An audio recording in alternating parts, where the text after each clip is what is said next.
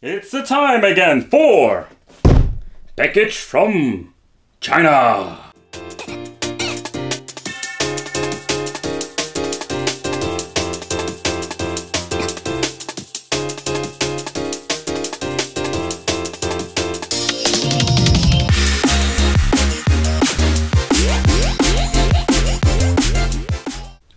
Hey guys, welcome back to the channel. It's awesome that you're tuning in. So in this video we are going to take a close look at the new game system from our friends from China. This is more, let's say, similar with the Pandora jungle. So I can say we, we're going to enter the Pandora jungle today. So stay tuned, don't forget to subscribe to channel, hit the little bell and we're going to do this unboxing together. But what are we going to get inside the box? So let's take a close look at it. The packaging itself is very nice and yeah, we're going to get the PlayStation knockoff controllers. Uh, this is basically the same controller we're always going to get before we're going to do testing. Ah, oh, doesn't smell cannibal. Alright, so I must say this thing feels not bad. I have seen some shitty places to knockoffs. Oh, sorry. What did I just say? Wicked. The D-pad. We're going to test it out.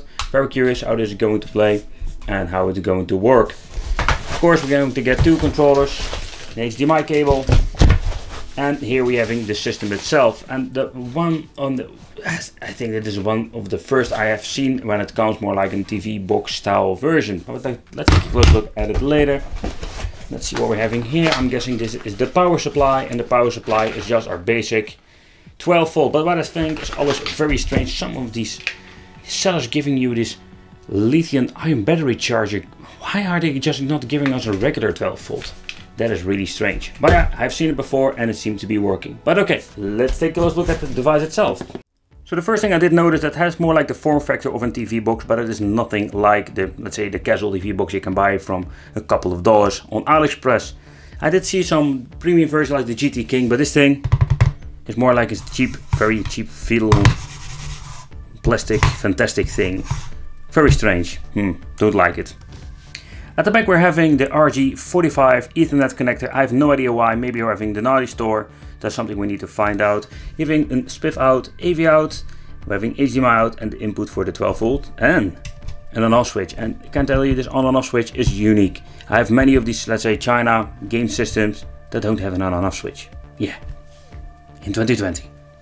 Who, who came up with that? At the side we're having two USB connections. Basically what you can do, you can use two dongles and we can hook up four controllers if you want to and the games of course supports it. Here we're having the TF slot for the SD card that contains all the files. But okay, so that makes me very curious, what are we going to get with the device? There are no screws, so we're just clicking together.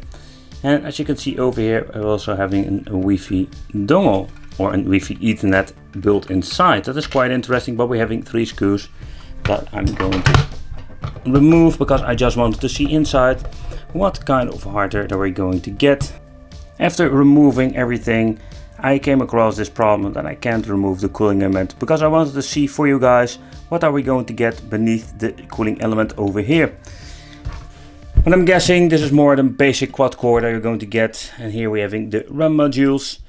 Over here we are going to have the storage that will have the firmware so basically what you're going to get is the similar specifications or the similar stuff that we're going to get with the main board of a Pandora's box, only in a different form factor. Alright, so let's put it back together. Let's put in the thumb drive and USB number one. Going to grab my controller, already spoken of the quality.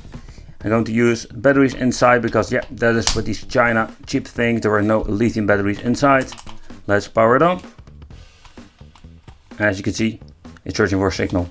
Let's grab ourselves an HDMI cable and let's grab ourselves a monitor and let's play. Alright, so this is the Pandora Forrest. We're having a new Pandora in the Pandora jungle. So as you can see, it runs indeed on Android. It's optimizing the apps. Alright, so when powered up, this is what we're going to get, the Pandora Forrest. And it is very similar to the Pandora Key 7. And for the people who are not familiar with the Key 7, it was more like the second model they released after the Pandora Box 5 and 6. It was more like a model between from a different company and there are quite some interesting things. So the Pandora Forrest is very similar with the Pandora Key 7. So having a 3-dimensional list, 2-dimensional list, latest and search. And search, that is new. That was something we didn't have with the Pandora Key 7. Okay, so when you're pressing start, you go back to the main menu over there and now we can go to the search function. So let's search for Mortal Kombat. Let's see how good this thing works. And it seems to be that it is working. So what are we going to get with the two-dimensional and three-dimensional list? So with the three-dimensional list, we're going to get PSP, Sega Dreamcast, N64, PlayStation 1. And it's not a big list, but you can add games if you want to. So with the two-dimensional list, it's more like a mixed bag. We're going to see here the retro arc, but I can already tell you, these are 16-bit games and not the original Mortal Kombat files, like the real arcade.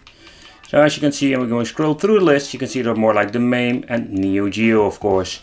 There are some Lost 8 and 16-bit stuff here, but you need to search them through this big pile of games. Okay, so let's try some three-dimensional stuff and let's see what we're going to get. Round one.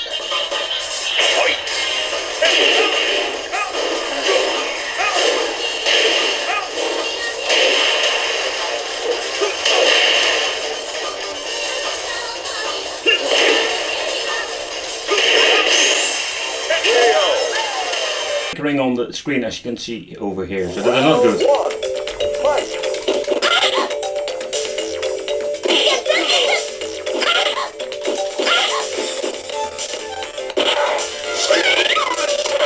Oh!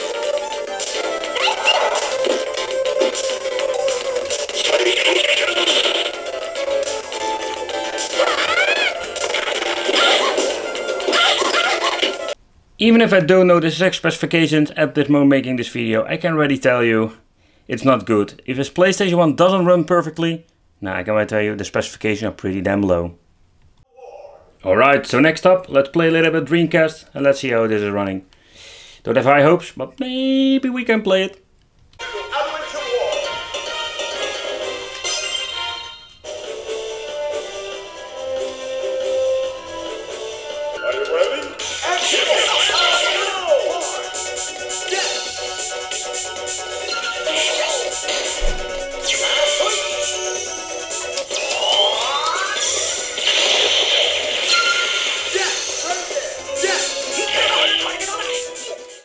I wanted to try a game, a two-dimensional MAME shmup. And the reason why, because these things are made for vertical screen. So with normal, let's say game system, we're going to get two black bars. But with this, it looks horrible stretched.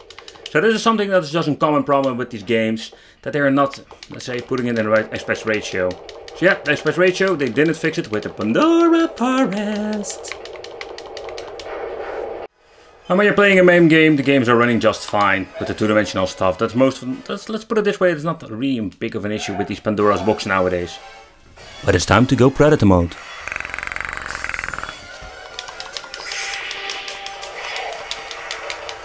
You got Super Magazine!